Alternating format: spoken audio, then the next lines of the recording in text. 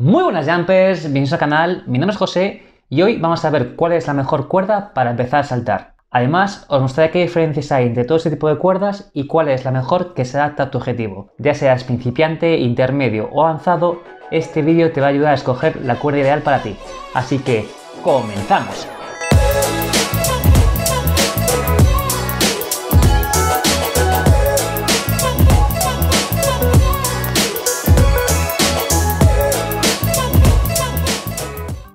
Muchos me habéis preguntado sobre cuál es la mejor cuerda para empezar a saltar o qué cuerda comprar. Sin embargo, no hay una respuesta única ya que va a depender mucho de vuestro objetivo. Cuando digo objetivo quiero decir si es hacer cardio para mantenerte en forma o perder grasa, para boxeo, para hacer dobles saltos en CrossFit o incluso empezar a hacer saltos con la cuerda. En función de ese objetivo habrá una u otra opción. Y comenzamos con la primera opción, para la cuerda de PVC, que sin duda es la que yo recomendaría si estás empezando a saltar. Pero si ahora te digo que vayas a Google y pongas cuerdas de PVC para saltar, aparecerán un montón de opciones y seas igual de perdido o de perdida que al principio del vídeo. Pero no te preocupes, te voy a dar cuatro tips para que sepas cuál es una buena cuerda para empezar a saltar. Que sea de PVC, que tenga rodamientos, que sea ajustable y que tenga mangos acolchados.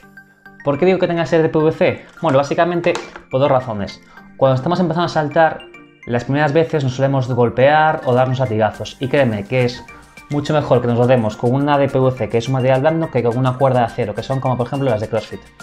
Y dos, al ser de PVC, las cuerdas que hay en el mercado son en torno a 4 o 5 milímetros de grosor, lo que da un peso ideal para empezar a coger el ritmo con la cuerda, ya que si fuese muy ligera, como por ejemplo, otra vez, las de CrossFit, eh, nos costaría mucho más poder coger el ritmo, ya que sería una resistencia mucho menor, lo cual la cuerda iría mucho más rápido y no queremos eso. Al principio queremos una cuerda que vaya un poquito más pesada, vaya un poquito más lenta para poder coger el ritmo. 2. Que tenga rodamientos. ¿Qué quiere decir que tenga rodamientos? Bueno, el rodamiento es un mecanismo que va a permitir que la cuerda no se enrolle sobre sí misma. Esto suele pasar en cuerdas, por ejemplo. Esta cuerda que tengo aquí, que es de silicona, eh, como veis son las cuerdas que hay en los gimnasios. Es fácilmente ajustable, pero no tiene rodamientos. Y ese tipo de cuerdas se suele enrollar en el momento que demos bastante velocidad o un poco de velocidad. En cambio, estas cuerdas, aunque aquí no se puede ver, os voy a dejar una imagen de cómo es un rodamiento, por mucho que giremos, no se va a enrollar sobre sí mismo. Entonces nos va a permitir saltar sin preocuparnos de que se enrolle la cuerda. 3. Que sea ajustable. ¿Qué quiere decir que sea ajustable? Pues que una cuerda necesita tener la largura justa para ti. Si no sabes aún cómo medir la cuerda, te dejo por aquí un vídeo donde explico cómo medirla y por qué es importante tener la largura justa para ti. Y 4. Que tenga mangos acolchados. Esto no es un requisito imprescindible, pero sí que te va a ayudar si estás empezando a saltar. ¿Por qué? Por dos razones. Uno, al ser un mango acolchado, la mano se va a acostumbrar a lo que es el agarre de la cuerda. Y dos, si empezamos a saltar y sudamos mucho por las manos, nos va a permitir que no se resbale la cuerda o el mango cuando estemos saltando. Entonces, bueno, no es imprescindible, pero es algo que podría recomendar. Y ahora vamos a por las cuerdas de velocidad o comúnmente conocidas como cuerdas de CrossFit. Se caracterizan por ser cuerdas muy ligeras que nos va a permitir sobre todo hacer dobles saltos mucho más rápido. Para otros trucos como el salto cruzado o salto con skipping no es la mejor opción. Estabas bien enfocado a hacer solo dobles saltos. ¿Y por qué? Ahora os explico. Es un cable de acero, como no se puede ver la cámara, pero está recubierto por una pequeña capa fina de PVC. Esto lo recomiendo si es un usuario intermedio o avanzado, ya que si es principiante es una cuerda muy ligera, ya que está en torno a los 2-3 milímetros de grosor y nos va a costar mucho coger el ritmo. Además, si nos pegamos un latigazo con este tipo de cuerda eh, en vez de con esta, créeme que duele mucho más. Aunque tenga una pequeña capa de PVC, el acero que tiene dentro pega un buen latigazo. Una cosa buena que tiene este tipo de cuerdas es que tienen muy buenos rodamientos, como podéis ver, y además se puede ajustar de una manera muy fácil. En este caso es mueve el tornillo lo saco, si me dejas hablarlo claro, y ya veis se puede ajustar a nuestra altura de forma muy rápida. Entonces, este tipo de cuerdas está muy bien si quieres entrenar solo dobles saltos o quieres conseguir hacer dobles saltos muy rápido, pero yo recomendaría que eso solo la compres si eres ya un usuario intermedio o eres ya un usuario avanzado. Y ahora vamos a las cuerdas de freestyle. Dentro de esta categoría encontramos dos, que son conocidas en inglés como beat rope, que son cuerdas que son de nylon, no sé si se puede ver, un nylon un poco grueso, y por macarrones o cuencas. Y además tiene unos mangos cortos, aunque también las podéis ver como mangos largos. Y por otro lado tenemos las long handles o mangos largos, que como veis es un mango bastante más largo. Si lo comparamos con la primera cuerda que era la de PVC, también es bastante largo y un poquito más fino. En el caso de las Big Rope eh, están bien sobre todo cuando quieres un poco más, es decir, al principio en mi caso yo empecé a saltar la cuerda porque quería mantenerme en forma y empecé con la cuerda de PVC. Pero poco a poco me fui enganchando y quería hacer más trucos aparte de los saltos dobles y los saltos cruzados. Entonces me compré esa cuerda para mejorar mi técnica. ¿Por qué es buena también si estás empezando? Porque ese tipo de cuerdas, al tener estos macarrones, aunque sean de nylon, va a hacer que la cuerda pese un poco más. Entonces, al pesar un poco más, tenemos un mayor control. Y el que sean mangos cortos también va a permitir que la cuerda pese mucho menos en la parte del agarre de la mano. Ya que si tenemos una cuerda que pese mucho el mango, también nos va a lastrar. Entonces, si eres un principiante que busca solo mantenerse en forma y hacer ejercicio o para boxeo, te recomendaría la opción de la primera opción, la de PVC.